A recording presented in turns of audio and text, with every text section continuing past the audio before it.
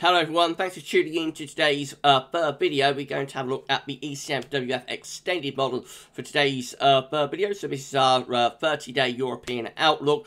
Actually, we look at weeks 5 and 6 as well, so it's like a 6 weeks European outlook. But um, traditionally, it always was uh, a 30-day forecast.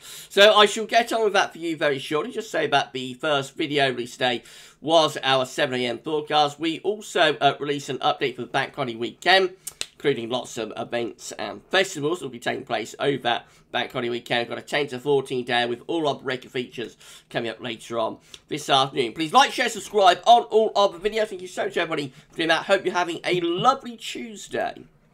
Right, so let's have a look at this bench show. We're going to begin with the uh, week one mean sea level pressure anomaly uh, for uh, for Europe. So here we go. It's going to take us from the 16th through to 23rd of August. The uh, coming week, or this week, I suppose, we'll have high pressure dominating across western parts of Europe with low pressure uh, across northern and northeastern parts of Europe and also some low pressure beginning to appear through these uh, southern and southeastern parts of Europe where it's been so exceptionally hot over the past few weeks it looks like things might be start, starting to turn just a little bit cooler and a little bit more unsettled down in that southeastern corner of Europe. Um, this is a 500 millibar height anomaly.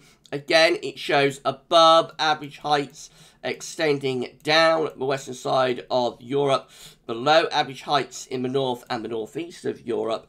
And uh, so you can uh, clearly see that the most settled weather will be across western parts of Europe, the most unsettled weather will be with this trough of low pressure in the north and in the northeast. In the southeastern corners, we lose the ridge of high pressure. It might start cooling down and turning a little bit more unsettled.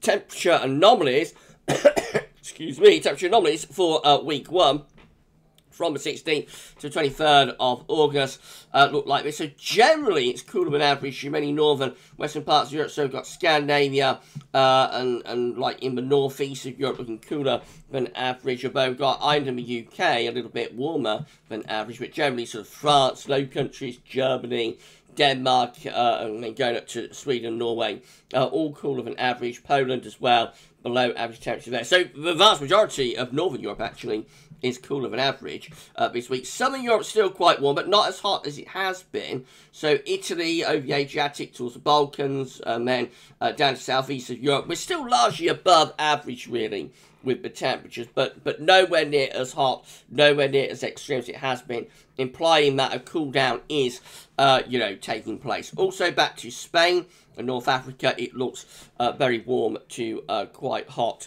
through there, but again, probably not quite as hot as it has been over the past uh, week or two. Very, very warm uh, up across northern and northwestern parts of Russia, though. And precipitation-wise look like this. Most areas are drier than average, but it is wetter than average in the north and northeast. So again, vast uh, areas of Scandinavia, around the Baltic Sea into that northeastern corner of Europe, above average precipitation there. Otherwise, many areas are drier than average. Ireland, UK, France, Spain, Portugal, drier than average.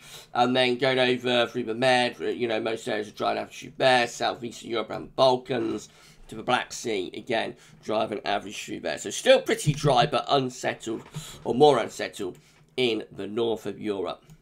Right, that takes through to week two, which will be the 23rd to the 30th of August. We set up a Scandinavian high uh, in this last week of uh, August. So high pressure sets Scandinavia, lower pressure towards the south, southwest Europe. Winds will be going into the east uh, with that. So easterly winds around um, a Scandinavian high brings uh, the, the, the, driest and warmest weather back in to uh, northern parts of Europe. Um, that's how the 500 millibar height anomaly looks, again with above average heights in the west and the north. Europe below average heights in the east of Europe again. With this, we'll be bringing in wind from an easterly direction across many northern and, and central western parts of Europe. Uh, so that's where the warmest temperatures will be. With this trough of low pressure in the east, so could be cooler and it could be more unsettled through there.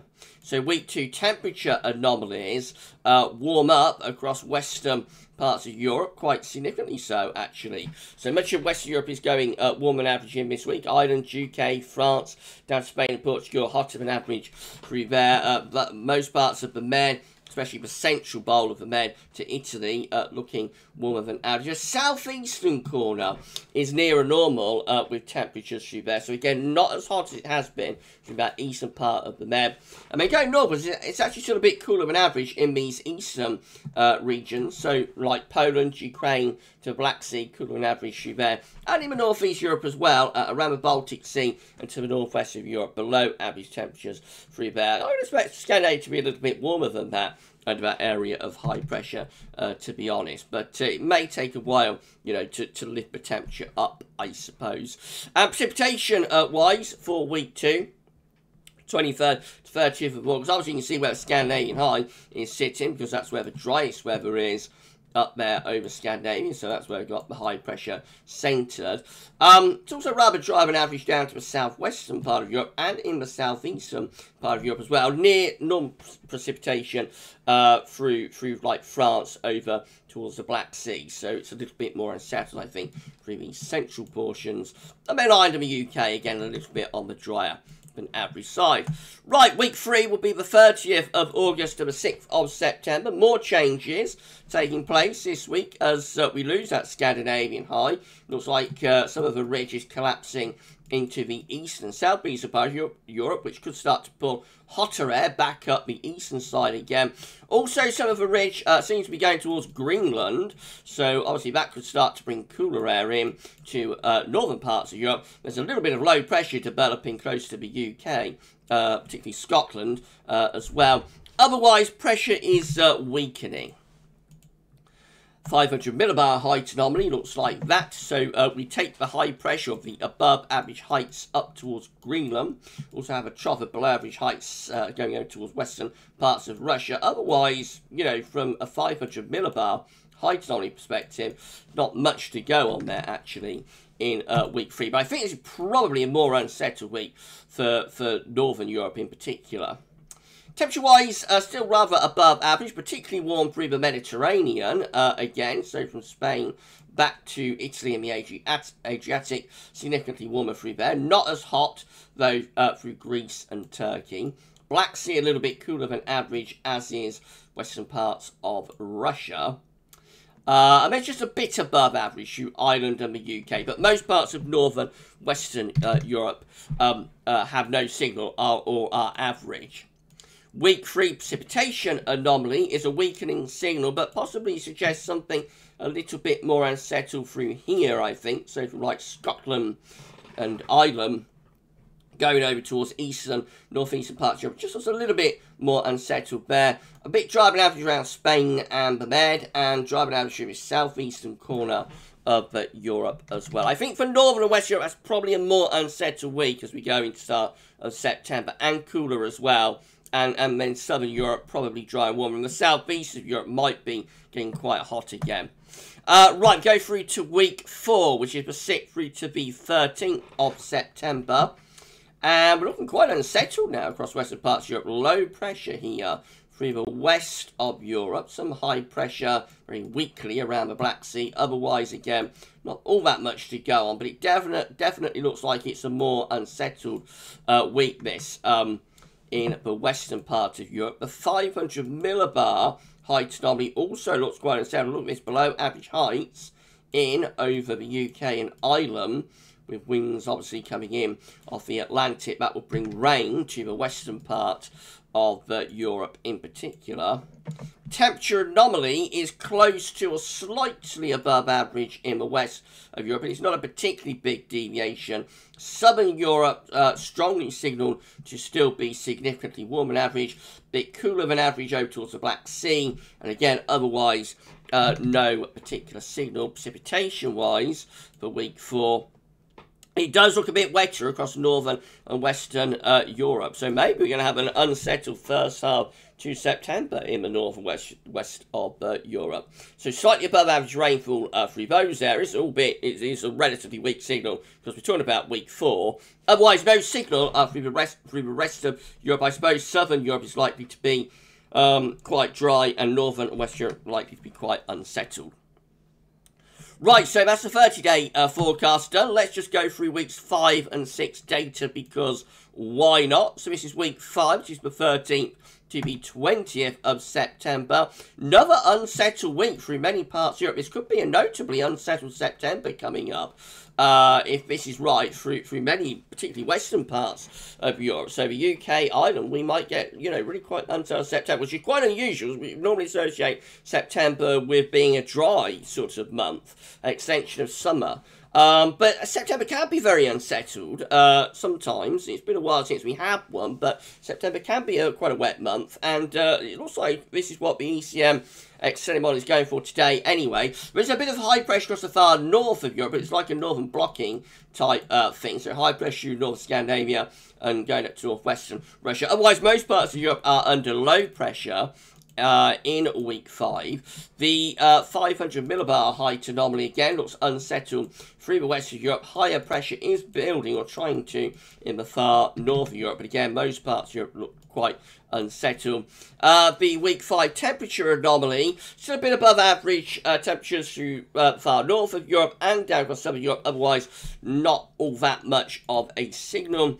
Week 5 uh, precipitation anomaly, again, was quite wet through like France, Germany, Low Countries, Ireland, probably UK included uh, as well. Scandinavia looks a little bit drier, but definitely sort of a western part of Europe looking quite wet.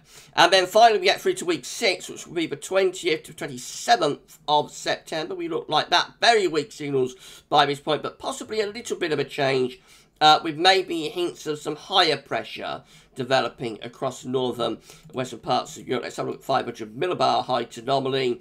Uh, so yeah, the trough low pressure being forced back into the Atlantic a little bit, I think, being blocked by this high pressure setting up over Scandinavia. Uh, temperature anomalies get a bit warmer through the western, northwestern part of Europe, uh, although it is a weak signal. And precipitation wise, if it's going to refresh, it is. Well, it's still a little bit unsettled actually through the UK and Ireland, to be honest. So even there, we're still a bit a bit wetter than average. Northern Europe probably rather dry, and looking rather dry through uh, southern, uh, southwestern parts of Europe as well.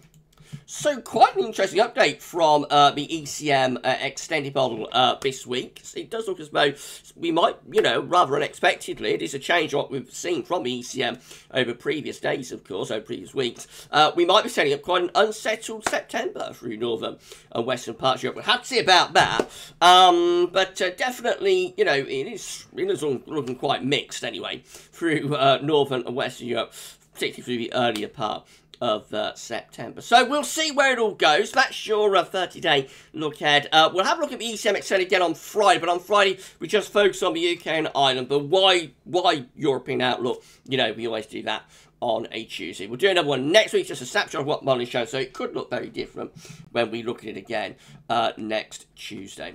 We're going to be back later on pertaining to 14 Day. That's going to include all of the regular features as well. So come back for that then. For this week's EC Extended forecast, that's all for now. And thanks for watching. Bye for now.